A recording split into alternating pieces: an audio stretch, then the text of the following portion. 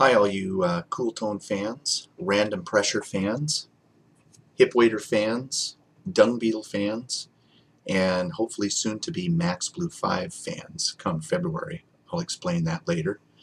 I decided to start doing a video blog um, for updates for all of those uh, of you that are interested and I just thought it would be more of a personal way to share what's going on and, and uh, all that kind of stuff. So um, just wanted to say that you know 2010 was an amazing year musically. Of course, it had its ups and it's had its way downs, but uh, you know we pulled through. We had a great time.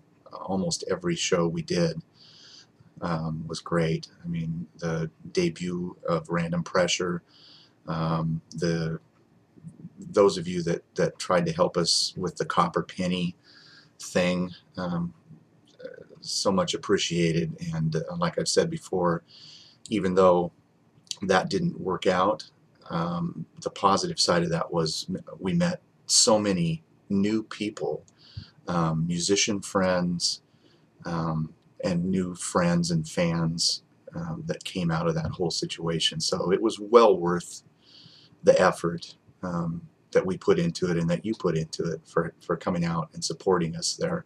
Um, it would have been great if it would have worked, but it just wasn't the right, um, just not the right fit, and uh, nobody's to blame for that.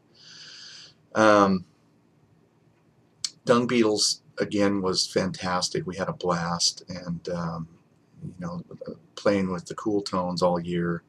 Again, there's nothing like it, you know, and and you guys all support all of our bands and me getting to fill in for the hip waiters is always a blast because I get to do a lot of stuff uh, on guitar with them that I don't get to do in my other bands. So you know that's a plus for me.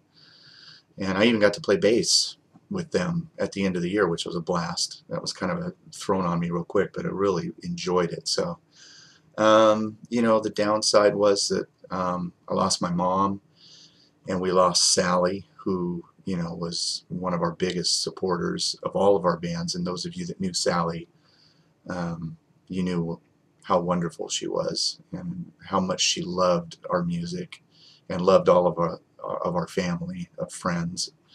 And uh, to have them pass away on the same night was pretty amazing and uh, pretty overwhelming. But you know, we got through it and uh, great memories. You know, uh, my mom was on stage with me in July uh, on my birthday weekend with the Dung Beetles, and that's the first and only time that's ever happened. So I've got that memory. I've got the photographs from that that I'll have forever. You know, and that's that's amazing. So anyway, so 2011, so much going on. Um, random pressure is going to be the focus this year for me and uh, for Norm. And um, Jeff and Andy and John in the Cool Tones have graciously um, allowed me to pursue this, and um, and that's great. You know, they're very supportive, and you know, they're certainly all free to do their own projects. And I know John's going to be busy doing projects, and uh, I think Jeff is is going to just kind of take it easy and just play. You know, of course, we're going to do the Dung Beetles and we're going to do Max Blue 5, which, for those of you that don't know what that is, because we haven't played for a couple of years and we've met a lot of you in that time, um, it's a blues, kind of blues rock project that we do. Jeff and Andy are the, are the drums and bass. I play guitar, and then we have a keyboard player named Dan Pettis, who is amazing, and uh, my ex brother in law, Cliff Ashman uh, they call him Cordless Cliff because he plays harmonica and sings. And uh, he is amazing. And he's cordless and he goes out in the audience and he's, he's quite a showman.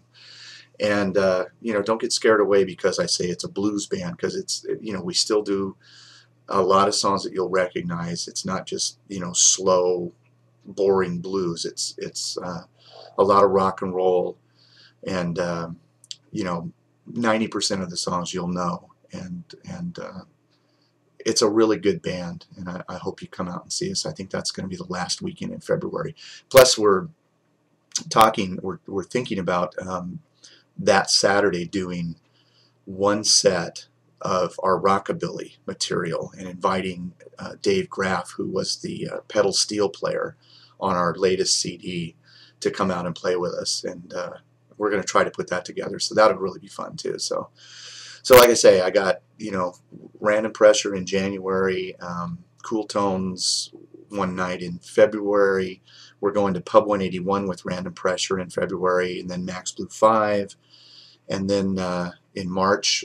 Um, more random pressure, and I get to travel down to Los Angeles to do some um, to make some music with my old friends uh, Pete Holmes and Mark Bain, and we're um, actually going to work on an original tune, which will be a lot of fun. They've asked me to, you know, if I had any material um, that I wanted to submit, and I submitted one song to them, and they really liked it, and so we're we're going to work on that while I'm down there. But mostly, it's just a matter of getting together and playing uh, a selection of songs that we did back in the 90s, my originals that we recorded. And then uh, Mark and Pete and I are all Black Sabbath fanatics, so when we get together, we do a whole set of Black Sabbath. So, you know, so going from rockabilly to Black Sabbath, that's what I'm kind of shuffling right now. But it's a lot of fun. So, anyway, tons to look forward to this year. And as always, thank you so much for your support in all the projects that I'm involved in. And um, spread the word, and it's only going to get better. And, and hopefully, we're all going to have a great time this year. So, I'll be back in February and give you another update.